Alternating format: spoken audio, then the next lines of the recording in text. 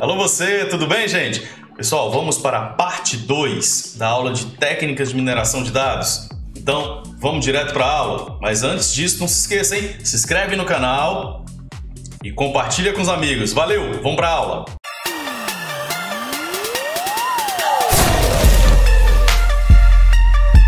Análise descritiva concentra em encontrar, encontrar padrões que descrevem os dados de forma compreensível. Exemplo: compra de produto de mesma classe, Efeitos colaterais de uso de um, médio, de um remédio. Peraí. Eu vou descrever esse processo, ou seja, se eu vou comprar um produto no supermercado, e geralmente quando o cliente compra esse produto, ele sempre compra outro, então o que, que o cientista de dados vai fazer? Vai colocar os dois produtos juntos, porque isso vai ter uma venda maior. Mais à frente eu vou explicar outros exemplos. Efeito colateral de remédio, o que, que seria?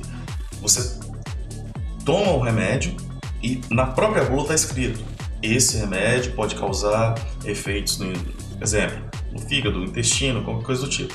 Então já existe uma análise descritiva disso, ok?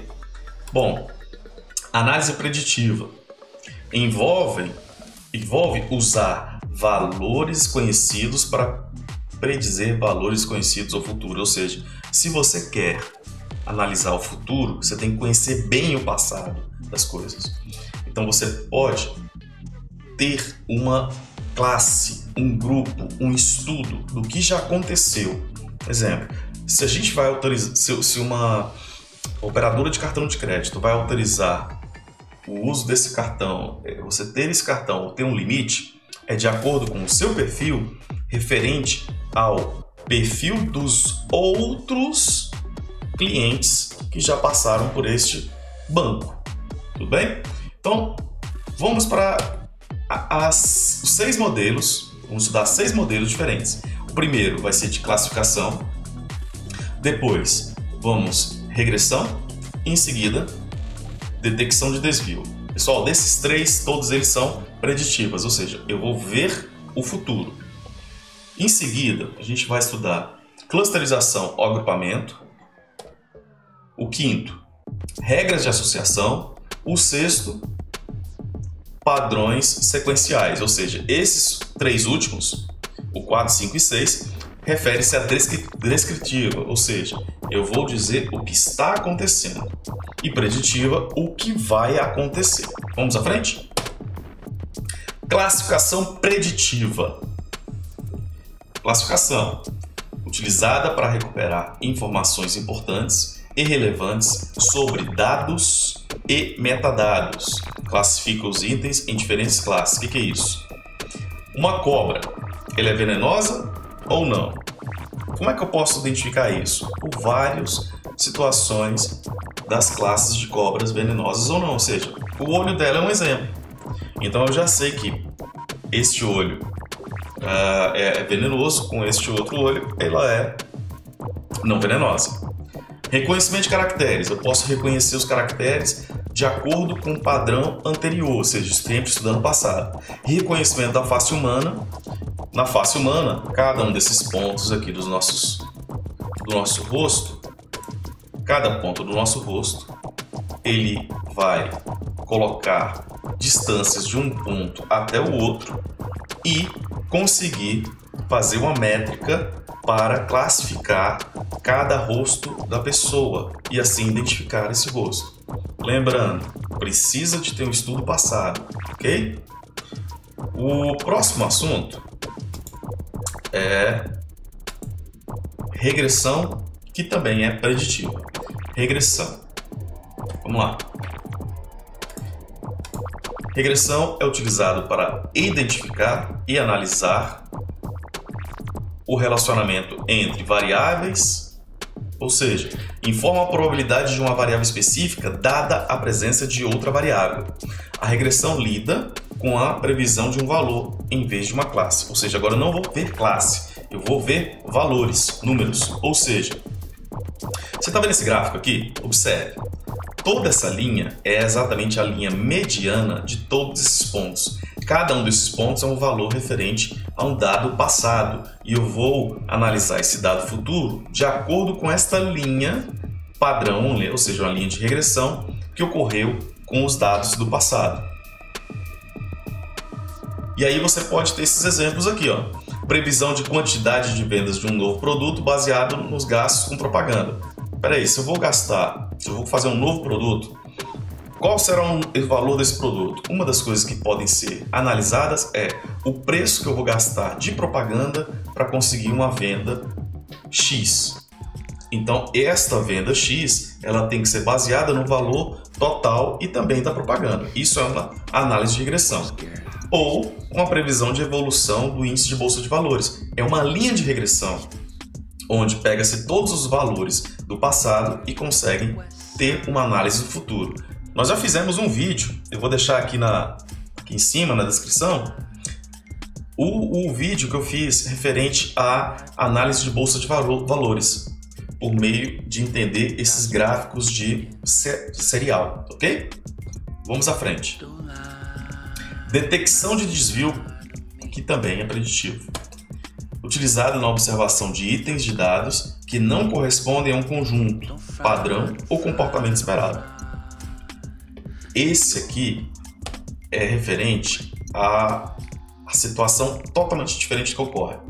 Você está vendo aqui nessa figura, tem vários peixes.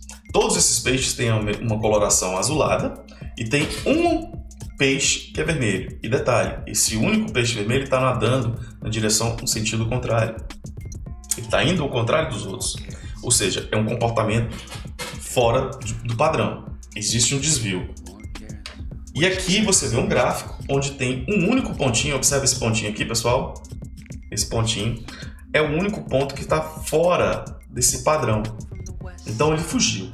O que, que a gente pode entender de exemplos disso aqui? Detecção de fraude de cartão de crédito. Você sempre compra, a sua média de compra é de produtos com 30, 40, 100, talvez 200 reais. De repente, do nada aparece no seu cartão de crédito uma compra de 3 mil é muito fora do seu padrão. Então, nesse instante, a operadora é informada desse valor e o seu cartão pode ser bloqueado, coisa do tipo, até se a, ter a informação completa disso. Uma outra situação é invasão de redes computadoras. Exemplo, vamos supor que a empresa utiliza os computadores sempre no horário comercial. E aí, de repente, no meio da madrugada, esse sistema é acessado. Isso é fora do padrão. Então, o sistema vai reconhecer esse detalhe e vai bloquear, ou seja, uma detecção de desvio, ou seja, uma situação futura completamente contrária ao que ocorre, ok? Agora nós vamos para os outros últimos três, que é referente a análises descritivas. Vamos lá, primeiro, clusterização ou agrupamento, utilizada para identificar dados que são semelhantes ou não entre si, medidas de similaridade. O que, é isso, pessoal? Olha, olha só esse exemplo. Vamos lá. Exemplo: campanhas específicas de subgrupos de clientes que compram um grupo, um subgrupo de produtos. Encontrar documentos similares entre si. Vamos lá. Se o mercado vende para um público de classe C, ele não deve fazer campanha para produtos consumidos pela classe A. Concorda? Isso é dividir em grupos. Olha esse slide aqui, pessoal. Olha só essa situação. Aqui você tem é, é, animações da Disney e da Warner. Onde, se eu for ver de acordo com o tipo de animal, aqui você tem dois roedores, mamíferos, um coelho e um rato, e tem três aves. Certo? Aqui é pato, pato e marreco, são aves. Desta forma, você pode fazer uma classificação aqui, separando esses grupos em aves ou em mamíferos roedores. Aqui embaixo você tem outro exemplo, várias pessoas, várias pessoas só que dessas pessoas, o que ocorre? Você tem aqui a divisão de classe. Opa, como é que a gente pode observar essa divisão? Aqui ele dividiu esse grupo verde que tem mulheres e homens, mas pode ser de acordo com a profissão deles. Aqui você divide em outro grupo, de acordo, pode ser de acordo com o aspecto salarial. Aqui você pode dividir, você pode dividir de várias maneiras diferentes, ok? Nesse próximo slide aqui é regras de associação, que também é, de, é considerada descritiva, tá? Utilizada para encontrar associações entre duas ou mais, dois ou mais itens. Auxilia na descoberta de padrões ocultos em um conjunto de dados. Vamos exemplos? Cesta de mercado ao comprar pão e queijo juntos. Ou seja, você vai, a sua intenção é ir comprar pão. Então, é sempre bom ter o queijo do lado do pão, porque quem compra pão geralmente compra queijo. Procedimentos médicos associados a homens ou a mulheres, ou seja, uh, se um, um, um hospital tem exames somente para homens, esses exames não podem ser feitos em mulheres e vice-versa. Aqui, alguns pequenos exemplos. Observe aqui, ó. A pessoa foi comprar, a ideia desse indivíduo aí comprar leite.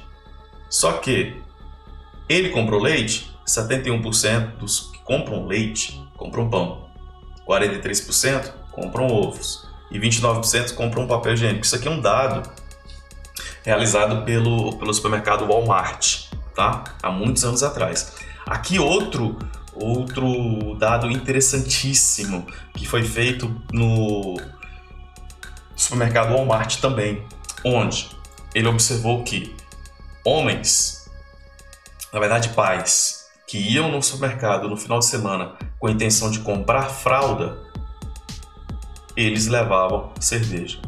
Aí o Walmart fez uma grande campanha de, aos finais de semana, modificar a posição das fraldas próximas às, às cervejas, justamente para fazer com que o cliente levava isso. E ele realmente tinha um grande número de, uh, de procedimentos disso. Existia uma grande demanda disso aí, de fato. Aqui outra faz, outra parte que a gente pode identificar como uh, regras de associação, ou seja, o que você faz bem, o que você faz para ganhar seu sustento, o que você ama fazer. Se você conseguir juntar essas três coisas, fazer a análise descritiva disso, o seu trabalho é dos seus sonhos. E de fato é, pessoal. Analisando esses grupos, é, fazendo essa clusterização, você consegue chegar a este resultado. E no próximo aqui, que é padrões sequenciais, é a nossa última análise, que é descritiva. O que é isso aqui? Auxilia na descoberta ou identificação de padrões, tendências semelhantes no dado de uma transação por um determinado período. Ou seja, um procedimento, procedimento médico sempre precede outro. Você faz um hemograma. O hemograma identifica que tem uh, o seu o seu uh, fígado não está muito bem, então você vai fazer um exame do fígado. E assim vai. Você sempre tem uma, um padrão sequencial após fazer um exame médico. Outra situação é uma compra de automóvel. Quem compra um automóvel hoje, futuramente vai ter que comprar pneu e óleo para o carro. Isso é fato, sem dúvida. E rotas de viagem de turismo, por exemplo. Uh, você pode calcular o número de pessoas que vão para cada ambiente. Exemplo, se a pessoa vem aqui em Brasília visitar o Congresso Nacional, fazer uma visita no Congresso, ele consequentemente vai no Palácio da Justiça. Ah, vou na Torre de TV. Então, sempre tem uma sequência numa viagem. Sempre ocorre uma sequência de acordo com o turismo, a rota de turismo. Então, pessoal, espero que vocês tenham gostado desses modelos referentes à mineração de dados, das análises descritiva e preditiva, ok? Bom, espero que vocês tenham gostado e curtem aí a página, façam o seu comentário. Próxima aula eu quero é, discutir bastante a respeito de utilização de mineração de dados na área da educação. Eu, como professor, eu quero mostrar para vocês diversas coisas importantes para o novo normal, que a, a educação ela, ela deixou de ser analógica para ser uh, digital. Então, a ciência de dados pode ajudar nesse processo, beleza? Espero você nosso próximo encontro, ok? Tudo de bom!